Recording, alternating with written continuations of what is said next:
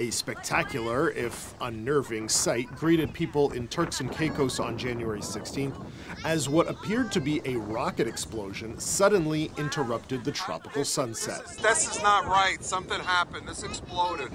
That evening, SpaceX launched its seventh test flight of Starship, a fully reusable super heavy lift launch vehicle, part of SpaceX's Mars ambitions.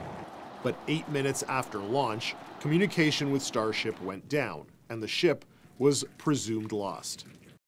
SpaceX said on X Starship experienced a rapid, unscheduled disassembly during its ascent burn. However, the Super Heavy booster, which fuels the launch, was successfully guided back to a landing platform where it was caught by mechanical arms. Only the second time this has been achieved.